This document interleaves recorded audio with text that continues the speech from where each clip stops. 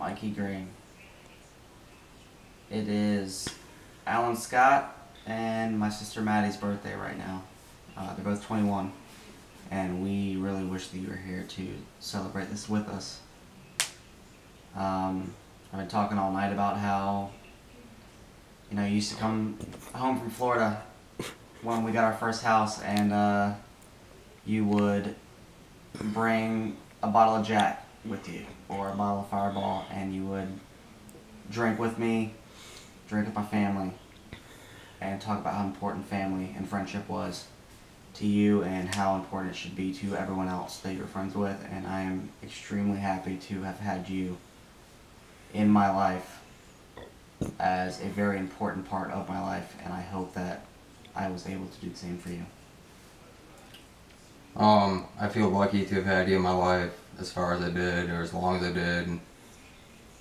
You know, I have a lot of your shit that you've given me throughout the years. You know, I got plenty of t-shirts, and you would always come over with any random item that you had. Like, hey dude, have this. Here's a new t-shirt for you. Here's a new hoodie.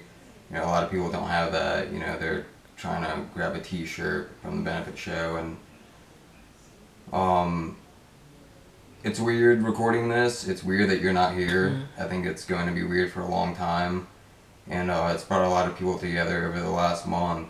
And I think to whoever's watching this video that everybody just needs to remember that you know you don't know what people are going through. People may seem depressed. It may seem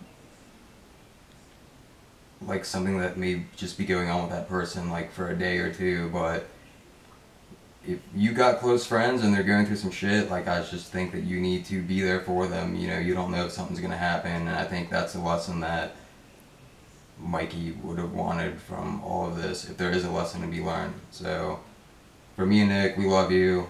You know, Love you, Mikey. that's all we can really say. We wish you were here. Rest in peace, buddy.